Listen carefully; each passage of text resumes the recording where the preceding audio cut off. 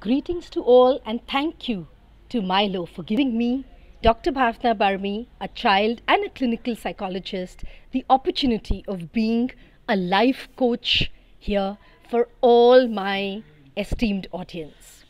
Let me start today's interaction on quarantine parenting tips with a salute to all parents with us today, and especially all my Corona warriors, our children. I salute all of you because you are truly dealing with one of the most challenging phases in our lives ever. And I so agree with Mylo that this is a difficult time, which is adversely affecting our well being, family dynamics, and early learning. To top it up, parents are facing a new kind of stress where your home is a home, home is a workplace, home is a school, and home is where entertainment lies. And with the pressure of multitasking and time poverty and staff reduction, it is only making things more and more difficult.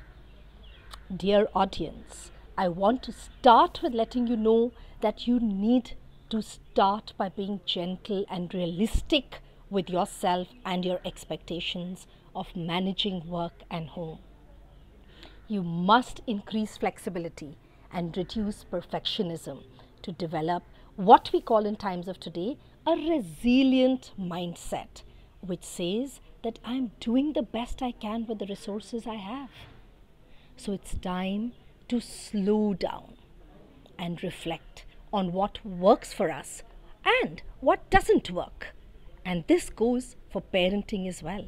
It's time to redesign our parenting to what psychologists call and I especially call conscious parenting, especially in times of quarantine, which makes it less stressful and more productive, where you and your child are hand in glove to create a yet another beautiful journey in your life. So, today's session is all about exploring our conscious parenting. Let me give you a simple example to understand how conscious parenting works.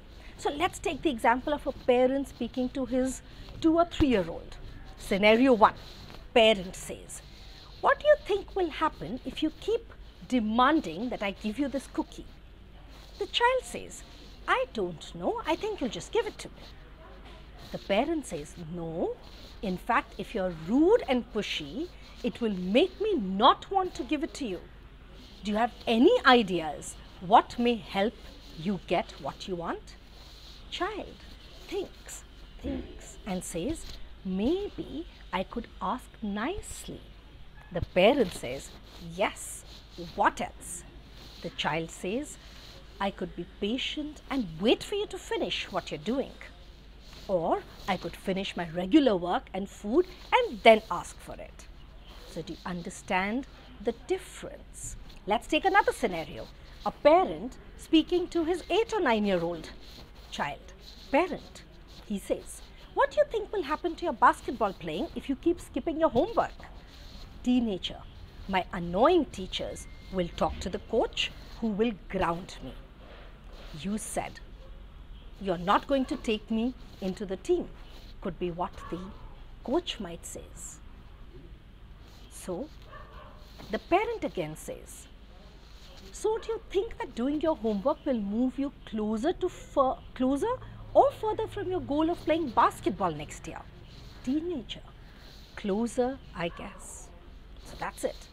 In the scenarios like these, parents really want to say something like ask nicely or if you don't smarten up, then you will be off that team. But that, remember, is less effective than when a child draws the same conclusion himself or herself and says it out aloud. Remember, our neurons synapse around the words we speak more than what we hear. So, encourage speaking out. First skill of conscious parenting to have the communication channel completely open, transparent, and the child having that feel of expression to you as well. Second important skill that conscious parents use is that of empathy. empathy statements really get across to kids. Help me understand what you're thinking. What are you feeling? I can see you're really upset. I can appreciate that this is really hard for you. I don't want to break up all the fun. However, this empathetic statement is something that is going to take you a longer way to understanding and helping your parents or you as parents understand your children. In fact, a typical differentiator of a conscious parent is that they support success, which is the third skill. So let's take another example to understand this. Your child doesn't want to practice guitar. I understand that you're getting super frustrated and tired. The parent should empathize. That I do understand that you don't want to practice the guitar. But if you don't get the song right, you won't make it to the recital. That is identifying your child's goal. I know you. And try just one more time, and you are going to get it. So, that is what you are doing to empathize with the child, to identify their goal, and thereafter to support success. The fourth skill is do not power pack your child's schedule. I would suggest that as parents, you build some downtime or time where the child does nothing because this is the time which is valued by me and as well by a number of psychologists for the development of parts of the brain that haven't been touched yet. Also, include unstructured play as that would definitely lead to creativity as they would have to figure out a way by themselves. Remember, it is extremely important for you to encourage unplugging, unplugging from the external world and going inwards. Encourage meditation, encourage mindfulness, encourage prayer. The next important aspect I would like to talk to you about is the importance of the allowance to play. P L A Y. Especially at a young age, because this is directly linked to the development of the front part of a kid's brain, which is where our highest levels of thinking and fixing are generated. So, encourage playtime, whether it is structured or unstructured, with you or even without you. Again, I must tell you that playfulness quotient has a direct correlation with our happiness quotient. Here are a lot of different kinds of plays that I'm going to suggest to you, which definitely as parents you need to encourage. Let's start with playing with some body movements because by moving our bodies, we are also moving our minds. Psychologists believe that innovation, flexibility, adaptability, and resilience have their roots in movement. So, thus, things like jumping, running, throwing, catching are all thinking in motion. So, inculcate and, in fact, do it with them. Even while you engage in household chores, like when you're cooking, you can throw a fruit prior to washing for your kid to catch or even throw a duster that they catch prior to dusting. Just take out five minutes from your work time to enter, to enter their space, to just move with them. And this can also be a worthwhile refresher. There is also object play, where playing with different objects helps the brain develop the correlation between object manipulations in childhood in higher cognitive skills like problem solving are highly connected. So, provide a wider variety of play objects to your children so that they stay occupied, giving you adequate time for your work life balance as well. Kids also can have pretend play, which is full imaginative play and is highly stimulating to our brain's creative and intuitive parts. It expands your thinking, for example. Playing with imaginary friends or playing with imaginary spaces like the moon, Disneyland, etc. etc. In fact, social play is kind of essential for the feeling of being accepted and having a feeling of belonging. For example, playing teacher teacher or doctor doctor. And to mix it up, you can play restaurant restaurant in the kitchen, especially in times of today, which could be very innovative and it could practically help the whole family support in presenting the meal. Ritual play are like celebratory, celebratory plays, which teaches us how we keep social patterns in check. Common examples are having a birthday celebration. So if there are special occasions in the family during this lockdown, we must not hesitate to celebrate. Here, we can let our children make the plan and this would also decrease the boredom of social distancing, social isolation that we all are facing. The last one I would suggest is storytelling, which is one of my favorites and one of the most powerful human tools to understand life's lessons and to never forget them. It also helps your child create dreams that later become goals that they want to achieve. So always encourage your child to write down their own stories. Next important skill, very important skill, is basically to have a holistic development for your child. Focus on their IQ, which is increasing their awareness on their intelligence sphere. Focus on their EQ, which is their emotional quotient, which again you can segregate into three parts. One is expression of all kinds of emotions and sometimes understand that it's okay not to be okay but it's not okay not to express. So allow that expression of all emotions. Happy emotions not so happy emotions. Anxious emotions strong emotions. Emotional stability is very very important. Second aspect of EQ is build up their communication skills. Their communication skills with their same peers, with their elders, with their youngers, with authority figures, which brings us to good interpersonal relationships. Good interpersonal relationships is the third important aspect of building up their EQ. So help them, encourage them. Even in times of today, enable them to understand the importance of relationships in their life. And you can be the perfect model of shouldering those. Third important aspect of a child's personality is their spiritual quotient.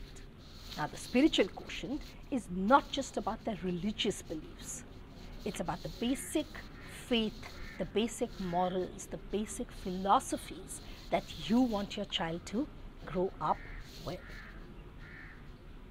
So, inculcate the values of honesty by being the role model. Trust, first by trusting your children. Respect. It's a very common saying that says the more respect you share, the more respect you give, the more respect you get back. So, dear parents, three important aspects IQ, EQ, SQ that is what is going to make the holistic development of your child.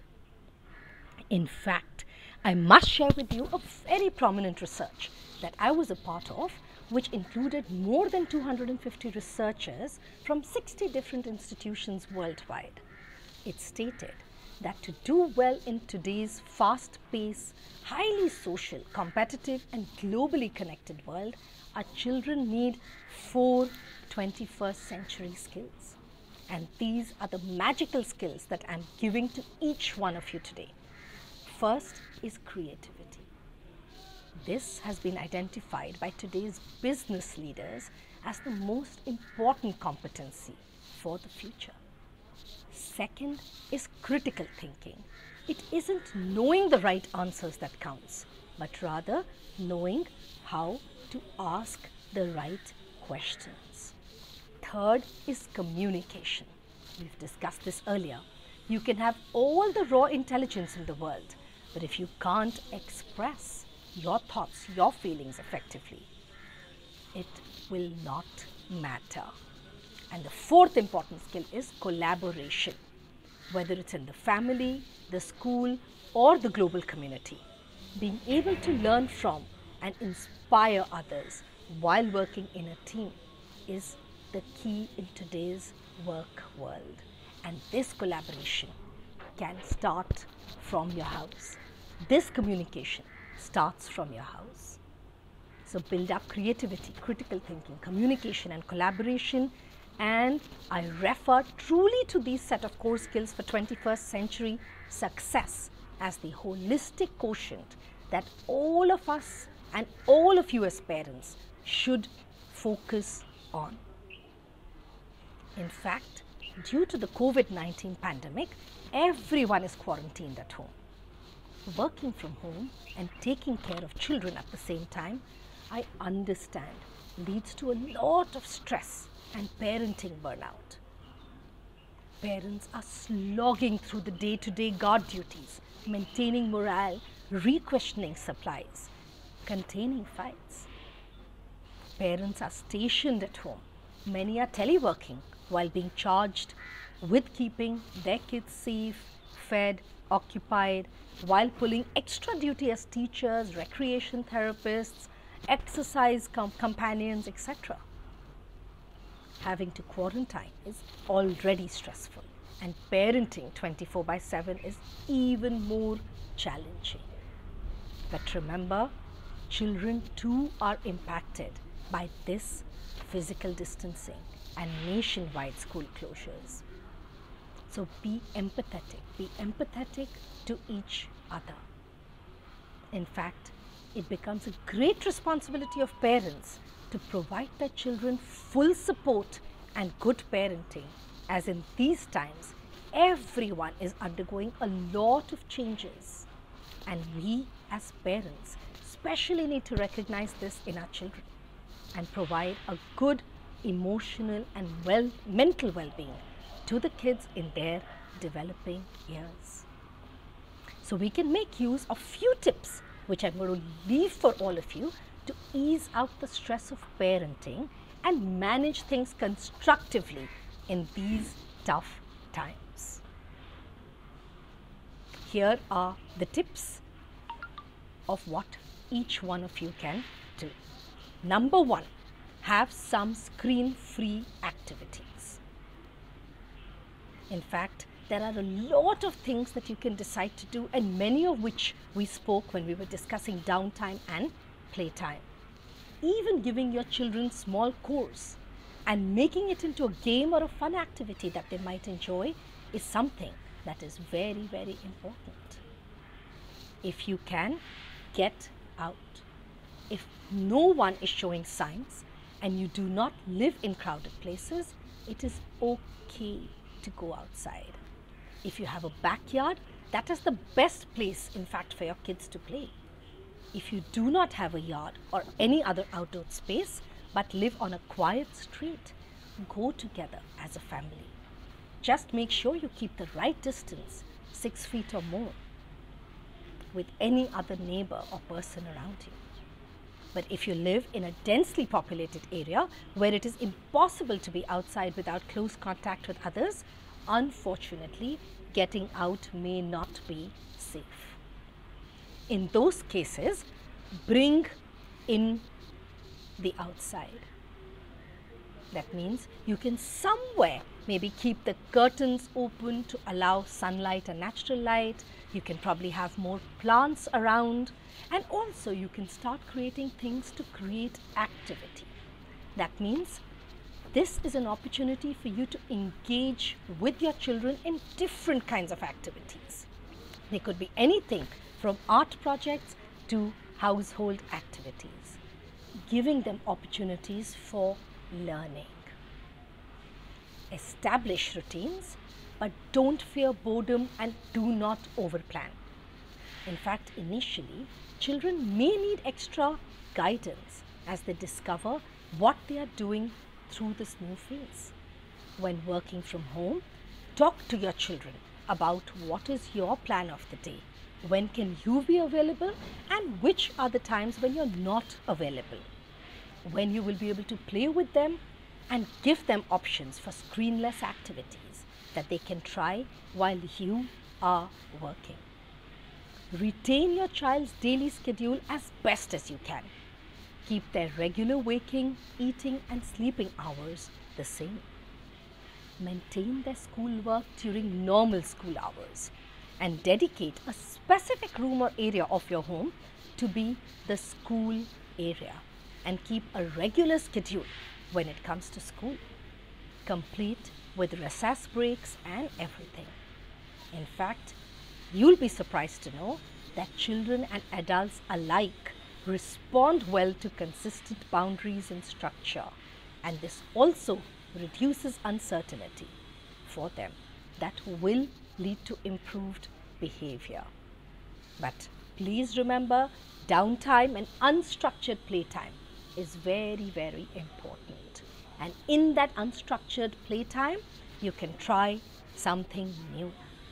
Something in addition to the hustle and bustle of everyday life. There is plenty of room for new activities or the in depth exploration of something you're already interested in. If your child, child enjoys writing, this is a good time to try to write a book or a play. You can put a step into reading or put it to work. Maybe you're raising a budding artist. You can use this time to write new songs or a visual artist who can make a small art show. A creative project is a great way to deliver any stressful energy. But I would like to end by saying be empathetic. Know that it is a challenging time it is a challenging time, so be connected with your children. Grant the gift of time. It might actually feel more overwhelming than you expected. Although this may be the case, remind yourself of why you wanted more time with them in the first place.